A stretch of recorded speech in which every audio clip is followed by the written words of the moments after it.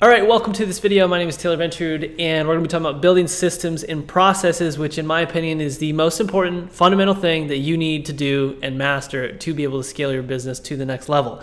Okay, before we get into Lucidchart and why I think it's the most legendary tool on earth to be able to build systems and, and good processes, I first want to talk about the two types of builders that there are on earth. Now, I'm really going to generalize here, but in most cases, from what I've seen, there's the beginner builders, which is usually just entrepreneurs in general who build one-dimensional systems or processes. And these people are normally, you know, just using like a Google Doc or a Google Sheet, uh, like a Trello card checklist. And it's usually very text oriented. Maybe there's a video that explains how to do each of these items on the checklist, but that's about it. Okay, it's just that. It's like a SOP, it's just a Google Doc, whatever. Okay, cool. I know how to do this process.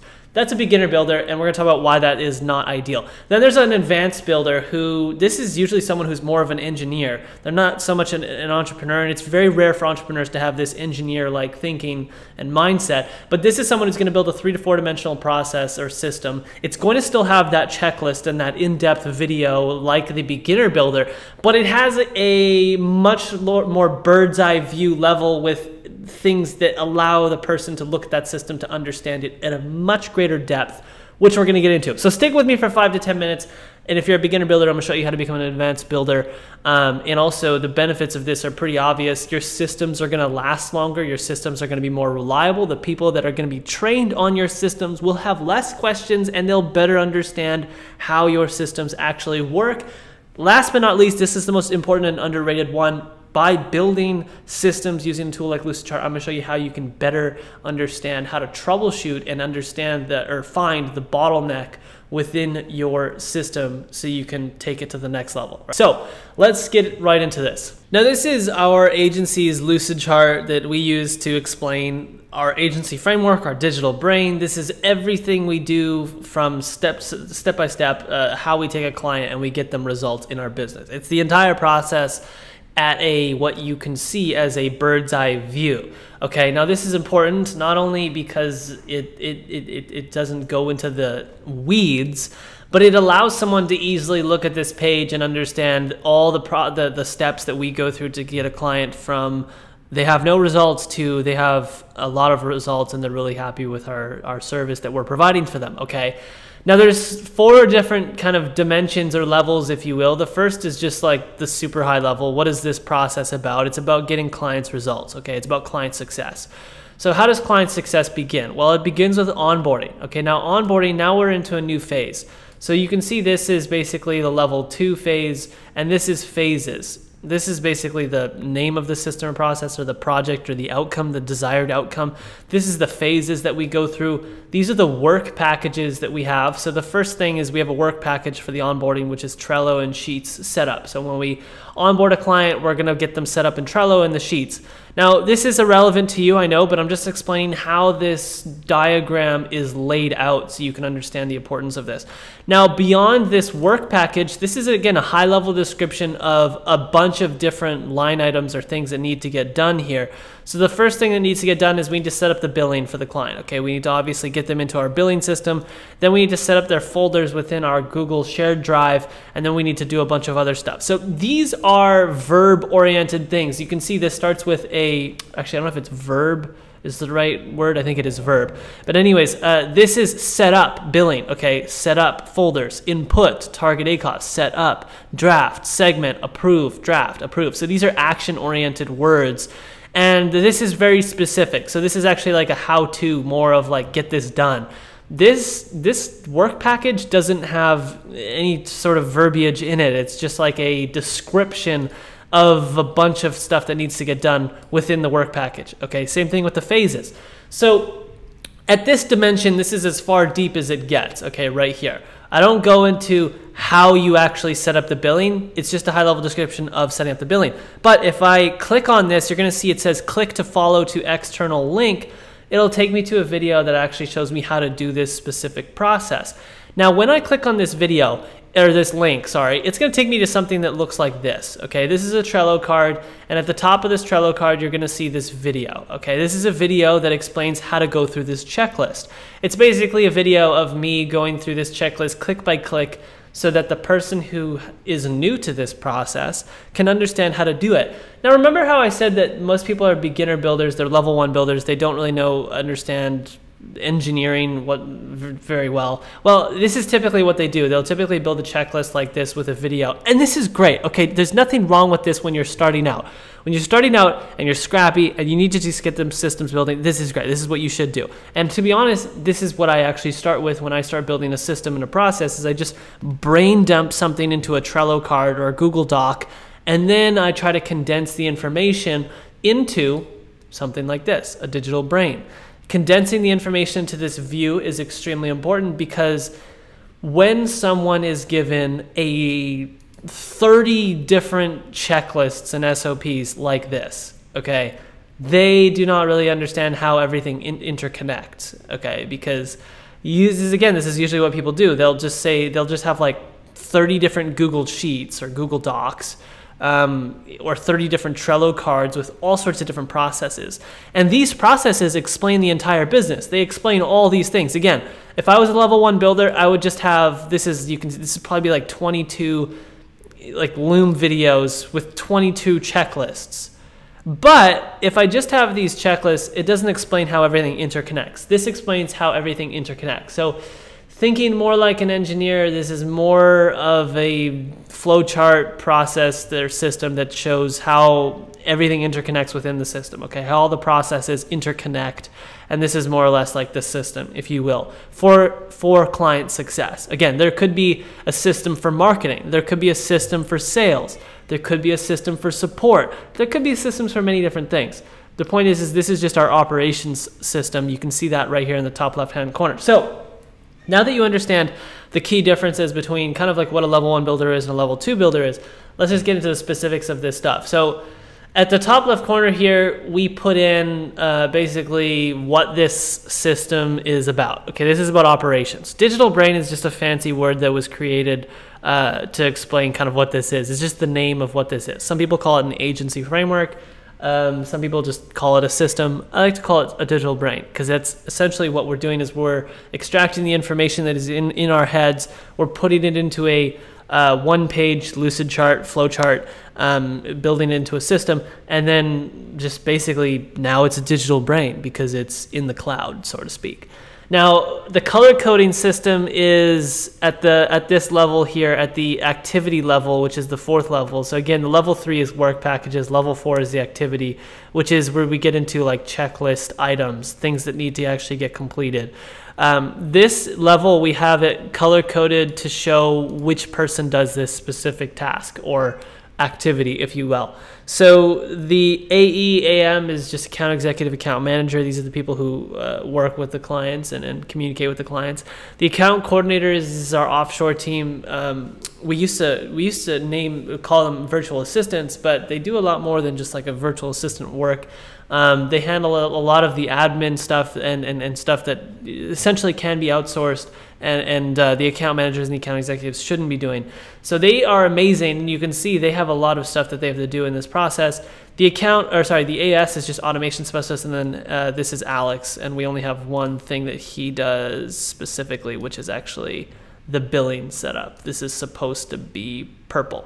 So that is the color coding system, which is important because, again, let me step back here when we go on an offsite or when you go on an offsite with let's just say your leadership team or just with your entire team in general and the, the usually the big question at least when you're talking about increasing efficiency and operations and making people's lives easier is what is the bottleneck okay? What where where's the big bottleneck?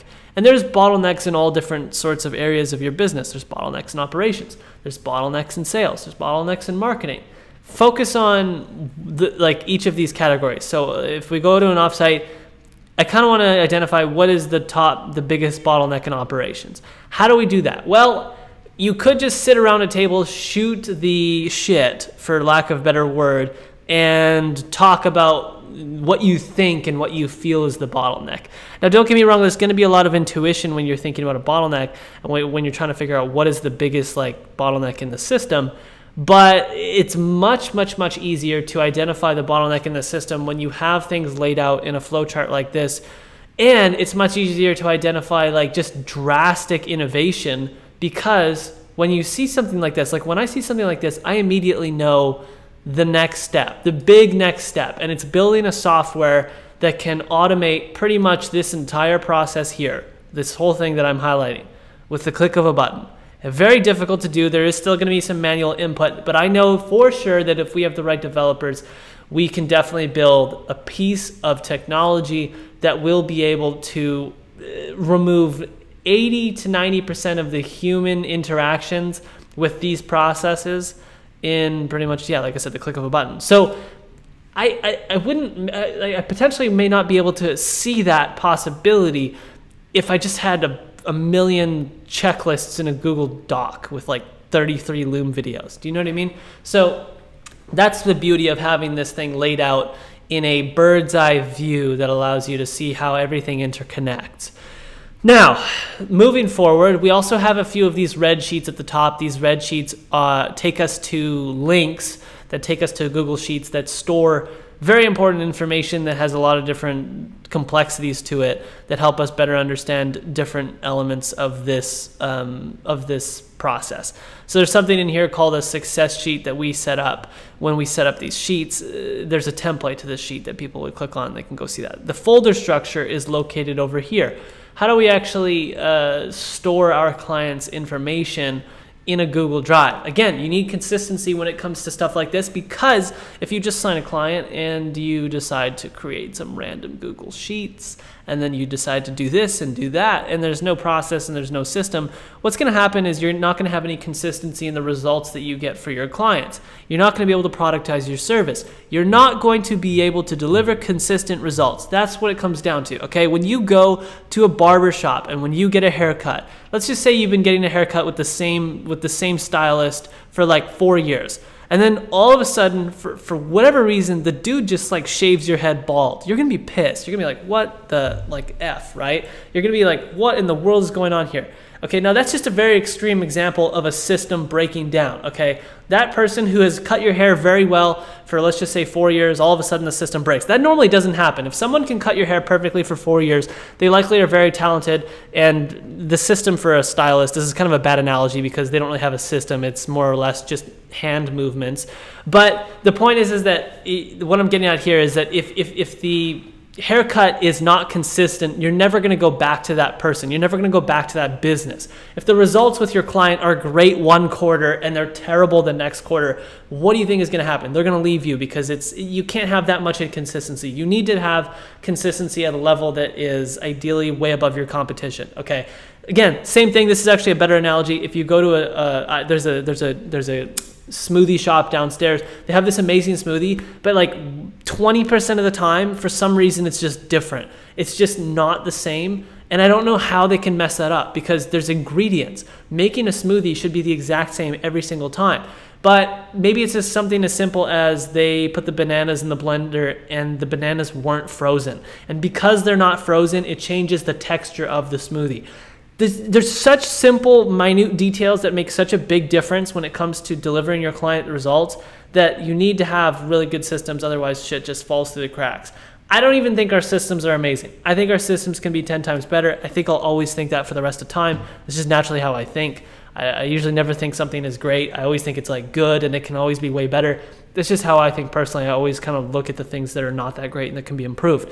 Um, anyways, the point is, is that having these systems laid out, it gives you consistency. And when you have consistency, you're going to be able to retain clients for a much longer time period. So that is how we use Lucidchart on a high level. Now we also use Trello, and that is where we do the level one beginner building type stuff, where we have the checklists, where we have the Loom video. So again, when we click on things like this, it, will either take us to a Google Sheet or a, a, checklist in Trello, or a, simply a Loom video that'll walk us through how to do this this specific process. Um, and that's really it. That there's, there's nothing else to this. Okay, so don't do just level one just step it up. Use a tool like this chart. Pay the 30, 40 bucks a month, whatever it is. I don't get a referral fee. I'm just sharing this information for free. and build some more advanced systems that allow you to understand how everything interconnects. That way, your team, when they're learning your systems and processes, they can better understand where the bottlenecks are. They can better tell you, hey, this is where the bottleneck is, right here. This process right here, this this this process mixed data thing is a is a nightmare. Okay, I, I, hate it. It's terrible. This thing always takes me like six hours. Perfect. Uh, now I understand that that's the bottleneck. Um, and a more advanced system that you can use is something like this. This is called BPMN, Business Process Nota- Management Notation. I don't know the exact acronym, but uh, it's a bit too advanced in my opinion. I don't really like it, but some people really live and die by this. I think if you run an advertising agency, you don't really need something like this. But essentially, there's layers, and at the high level, you have these are like swim lanes, and then there's pools. The pool is um, this entire thing is an audit process. So what happens is when we do an audit, there's a survey that is received. That's an email that enters our email that comes from the prospect, okay? Because obviously someone applies on our website. Then we receive a survey. Then someone's going to qualify that survey, okay? If they're if they're only doing like twenty thousand dollars a year in sales, we're not going to work with them. So they'll get rejected. If they're not qualified, we're going to cancel the call and we'll send them an email back and say, hey, you're not qualified. If they are qualified, there's usually a one to four day delay because we're gonna get they're gonna book a discovery call, and that discovery call uh, is going to happen. Our calendar setting doesn't allow them to book it one to four days out, etc. Now, doing the discovery call is a pretty it, it, it's a, it's a more in depth process. So if you un if you unhide that, it will show you how to do the discovery call in this process down here. So BPMN, it looks more complicated. It is more complicated. Does it simplify things? I mean, it really allows you to look at it and really understand what the hell is going on uh, to a much greater degree than this. Okay, but I don't think it's worth it right now for the level that our business is at. I think if you're doing maybe a million a month, if you're eight figure business and you got 50 plus employees, go for it um, in an advertising agency. I can't speak about other business models, but uh, for now, I think something like this is very sustainable and will last until probably around eight figures, something like that. So, anyways, we'll see how this goes. Let me know if you enjoyed this video. Hit that subscribe button below and let me know your thoughts in the comment section. I have spoken about this many times in many different videos keep people keep requesting more information about it. I, I, don't know what else to tell you guys to be honest. I think I think this is like going to be my last video talking about Lucid Chart because I think I've told you guys everything that I can possibly tell you about this thing. So yeah, I, I don't know if I missed something. Let me know. I'm, I'm kind of like, damn, what else do I talk about when it comes to this stuff? All right. Thanks for watching this, guys. I'll see you in the next video. Hit that subscribe button. It would make my year. Okay. Ciao.